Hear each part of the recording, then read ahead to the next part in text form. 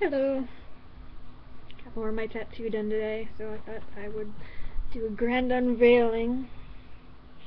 As soon as I figure out here where all this clear tape is.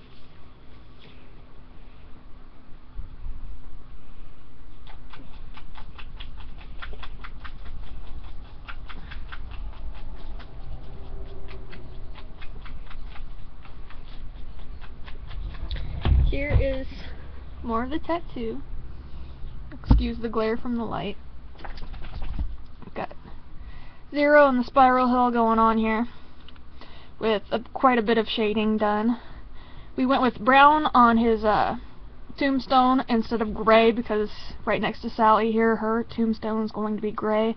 And we're trying to balance out the color on the other side with Lock, Shock, and Barrel and uh, Oogie Boogie being very vibrant. And if it was too gray over here, it would just, you know, unbalance it. As you can see, there's quite a bit of shading. Now just imagine the shading you see here all over. And that's how it's going to look. It's going to look fucking badass. And I can promise you, every time I get more done, even if it's a freaking touch-up, I'm going to post another video to show you the work that was done, show you the vibrance, and show you how my vision is becoming a reality.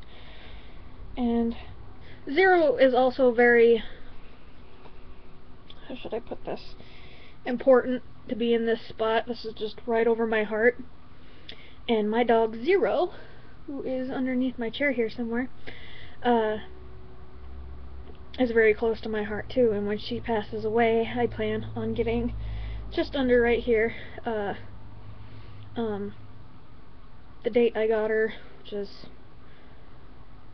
December four years ago, and the date when she passes away in in memoriam, or it's either that or I'm going to do black light where you can't see it unless it's with black light, and I'll always know. So, but it does look pretty bad freaking ass, I must say. So, can't wait to get more of this done. Can't wait to show you.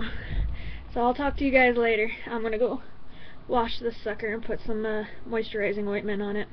See ya.